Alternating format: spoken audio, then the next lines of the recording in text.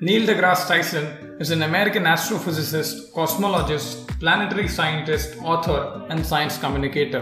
Since 1996, he has been the director of Hayden Planetarium at the Rose Center for Earth and Space in New York City.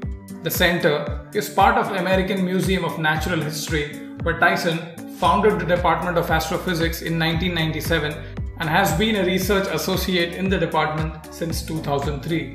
In several interviews, he has said he is heavily inspired by Isaac Newton, Carl Sagan, Richard Feynman, and Albert Einstein. In this video, we'll see 12 books recommended by Neil deGrasse Tyson. Hi, I'm Jayesh, and this is Books for Hustlers.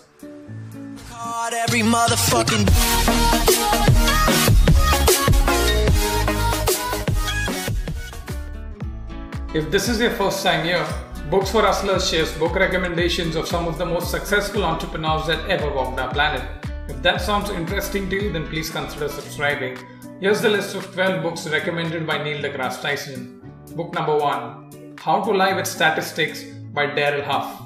Book number 2 The Almagest by Claudius Ptolemy. Book number 3 The Prince by Niccolo Machiavelli. Book number 4 Holy Bible. Book number 5 Age of Reason by Thomas Paine. Book number 6 Gulliver's Travels by Jonathan Swift. Book number 7 The Wealth of Nations by Adam Smith. Book number 8 The Art of War by Sun Tzu. Book number 9 The Principia by Isaac Newton.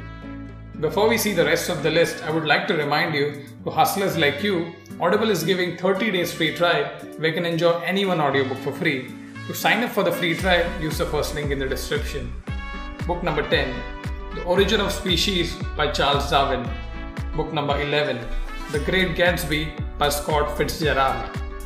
And book number 12 The System of the World by Isaac Newton.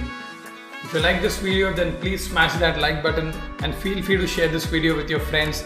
If you're new here then consider subscribing our channel and do check out the other videos. So that's it for today guys. Thank you for watching. See you in the next video.